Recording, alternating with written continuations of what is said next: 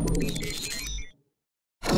Why am I seeing so many people in the cheap seats? And that, by the way, is the definition of Twitter the cheap seats, talking up some kind of a confrontation, war with China. Why, as I mentioned last night, have we seen just in the last two weeks mentions, especially on the on the right in the media, of people only calling it uh, communist China, like when you and I were growing up?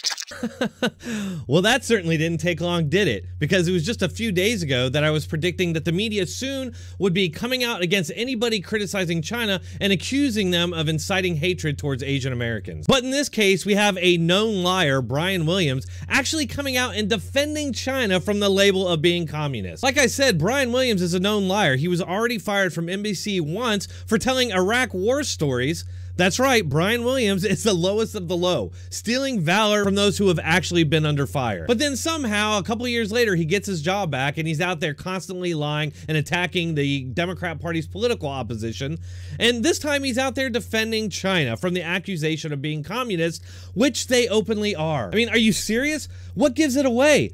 Is it the authoritarian, oppressive government that actually holds its minority citizens in actual concentration camps? Is it the name of the founding and sole governing political party, the Communist Party of China? I mean, who do these people think they are, and why are they going to bat for China? It makes no sense. Unless, of course, these institutions and the media are somehow beholden to China. It reminds me of something I saw on CNN about a year ago with Alisyn Camerota actually saying that the socialism label is so damaged that they have to come up with a new name for it.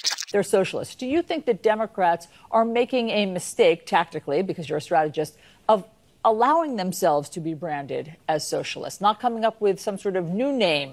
Oh, CNN's just so trustworthy. The Democrats just have to deceive the American people and come up with a new name for socialism and communism. And who ever heard of calling China communist? Only a bunch of right-wing conspiracy theorists would ever do that. So this take from Brian Williams is likely due to a Thursday segment last week where Mark McKinnon told him that the GOP's concerns about China exists because the GOP needs a boogeyman to scare people. Yeah, because China's not an actual threat, it's just a boogeyman. And I find it interesting that in that very segment, they're treating the GOP as if it's a boogeyman. Only party that's in opposition to the Democrats. Hmm, seems a lot like China, where the sole political governing party is the Communist Party of China. That's all I have for today. Just a quick one. I really just wanted you all to see Brian Williams saying something that I find completely outside the bounds of reality at this point. There is no doubt whatsoever that China is communist. If you enjoyed this episode, please hit that like button, share it, and subscribe, and I'll see you all next one.